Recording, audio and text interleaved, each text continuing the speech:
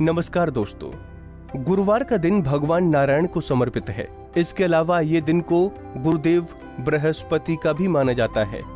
ज्योतिष शास्त्र के अनुसार बृहस्पति देव वैवाहिक जीवन का स्थिति, ज्ञान, भाग्य आदि का निर्धारण करने वाले माने गए हैं। कुंडली में अगर बृहस्पति शुभ स्थान पर है तो भाग्य का उदय होता है और आर्थिक वृद्धि होती है और अशुभ बृहस्पति जीवन में कई तरह की समस्याओं का सामना करवाता है। इसलिए ज्योतिष शास्त्र में गुरुवार के दिन कई कार्यों के करने की मनाही बताई गई है। इनके करने से तरक्की और सौभाग्य में कमी आती है। तो आइए जानते हैं गुरुवार के दिन कौन से कार्य नहीं करने चाहिए। सबसे पहले आपको बता दें कि गुरु ग्रह को महिलाओं की जन्म कुंडली में पति और संतान का कारक माना जाता है।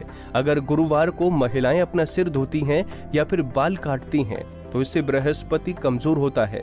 बृहस्पति कमज़ोर होने से पति और संतान का भविष्य प्रभावित होता है।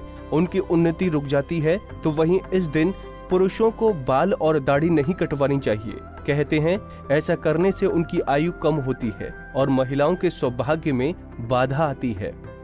शास्त्रों के अनुसार गुरुवार को पोछा लगाना, कपड़े धोना, घर का कबाड़ बाहर करना, फेशियल, वैक्सिंग आदि करना भी वर्जित माना गया है।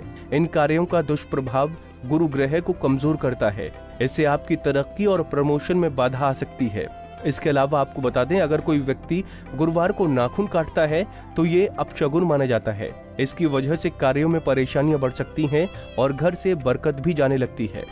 ज्योतिष शास्त्र के अनुसार गुरुवार को किसी को उधार देने या किसी को पैसे देने से बचना चाहिए। धन का लेन देन करने से बृहस्पति के कारक तत्वों का प्रभाव हल्का होता है। ऐसा करने से आर्थिक परेशानी का सामना करना पड़ सकता है। आपकी जानकारी के लिए बता दें, इस दिन केले के पेड़ की पूजा की जाती है और इस दिन केले का फल खाने से गुरु अशुभ फल देता है। तो चलिए, अब आपको बताते हैं इस दिन क्या करना चाहिए। शास्त्रों के अनुसार बृहस्पति देव की विशेष कृपा पाने के लिए गुरुवार के दिन केले के पौधे में जल चढ़ाकर उसकी जड़ में मुट्ठी भर चने की भीगी हुई दाल और गुड़ की एक डली डालनी चाहिए।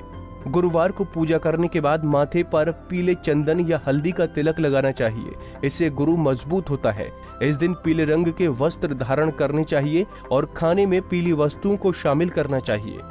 धार्मिक शास्त्रों के अनुसार गुरुवार को नारायण का दिन होता है, ये बात तो ठीक है। पर नारायण तभी प्रसन्न होंगे जब आप उनके साथ उनकी पत्नी यानी कि लक्ष्मी जी की भी पूजा करेंगे। गुरुवार को लक्ष्मी नारायण दोनों की एक साथ पूजा करने से जीवन में खुशियाँ आती हैं। और पति पत्नी के बीच कभी दूरियाँ नहीं आती। साथ ही धन में भी वृद्धि होती है।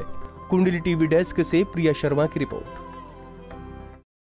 इसी तरह की और भी जानकारी लेने के लिए हमारे चैनल को सब्सक्राइब करें और नई वीडियो की नोटिफिकेशन के लिए बेल आइकॉन दबाएँ। अगर आप ये वीडियो फेसबुक पर देख रहे हैं तो वीडियो को लाइक और शेयर करें। साथ ही अपनी राय कमेंट बॉक्स में ज़रूर बताएँ। धन्यवाद।